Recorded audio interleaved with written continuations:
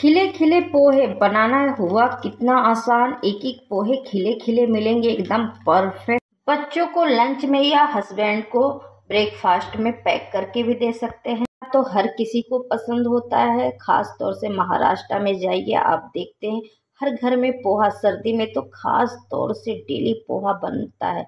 सुबह टाइम भी बचता है भागम भाग होता है, फटाफट आप बना सकते हैं खिले खिले पोहे, जो इस तरीके तो मिलेगा ही मिलेगा और खिले खिले इस तरीके से लुक भी मिलेगा, जो एक हर स्पून में आपको अलग स्वाद मिलेगा, क्योंकि इसके अंदर बहुत से फ्लेवर सबसे पहले पोहा लेंगे, पोहे को एक बर्तन में डालेंगे, इसके अंदर पानी डालेंगे, क्योंकि पोहे के अंदर बहुत ज़्यादा डस्ट होता है।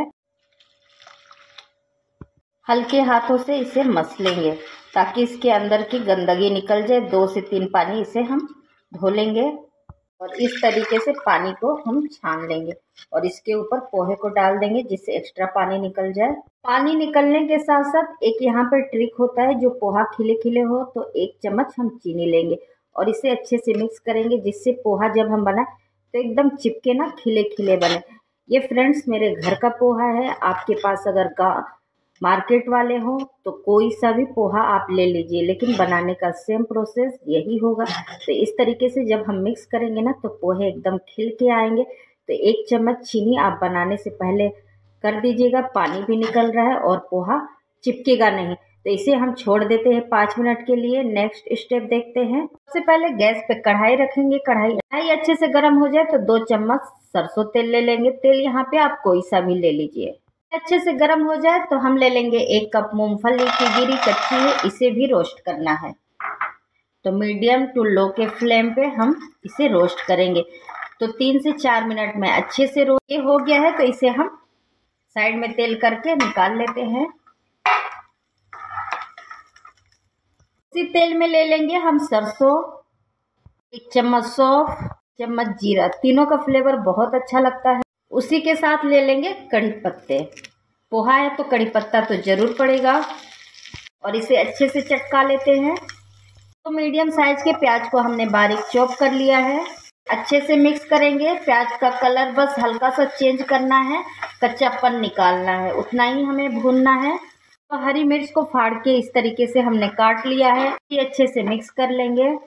मटर है, फिरोजन मटर है, आपके पास जो मटर है तो डालिए। मटर नहीं तो स्किप भी कर सकते हैं। कोई दिक्कत नहीं है। मैंने एक गाजर को टुकड़ों में काट लिया है।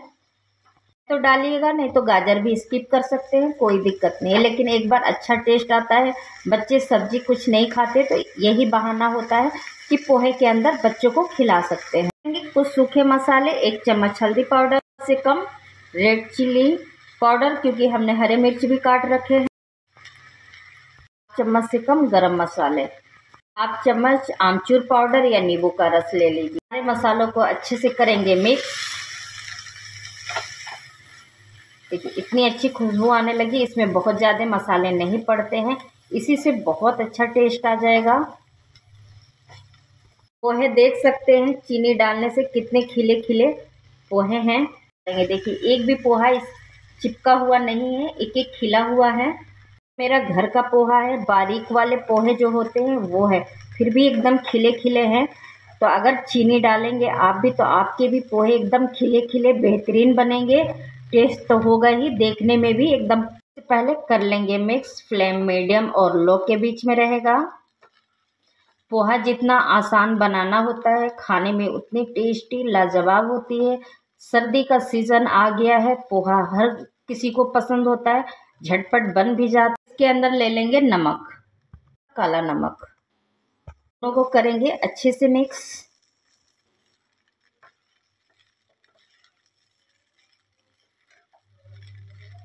इसी के साथ मूंगफली की गिरी को भी डाल देंगे, इसे भी अच्छे से हम कर लेंगे मिक्स